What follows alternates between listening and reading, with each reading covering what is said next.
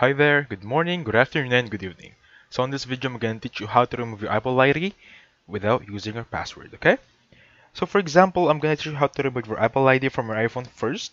So go to settings right here. Let me just go back to the landing page. So this should be the landing page settings, right? Now from here, tap on your name, and at the very bottom part, there should be a sign out button. If you click on it, it will ask you for a password, right? It will turn off your Find My iPhone and input your password. However, let's just say you don't remember it. Easiest um, resetting, just click on forget password right here and then they should ask you um, a code regarding your phone number or any associated phone number or email address with your iOS or iCloud.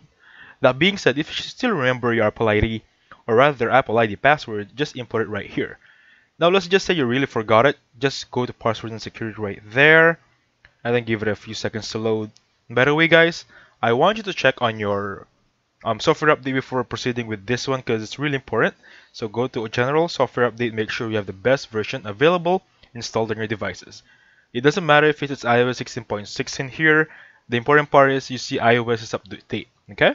So let's get back to the password settings earlier.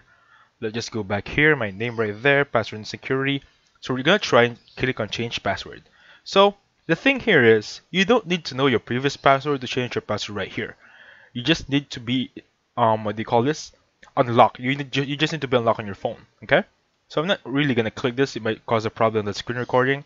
So just click on this one. Okay. So second option is gonna be going to this website. Let me just check my website right there.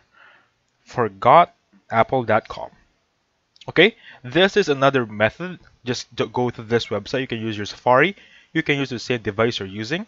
So go to iforgot.apple.com, click on reset password. Again, they will just ask you some family or secret questions that you've input earlier, or just any associated phone numbers or contact information for you to receive a code or link to go proceed with this resetting of your password, okay? With that being said, thank you so much for watching. Please hit the like button and subscribe. Have a safe one.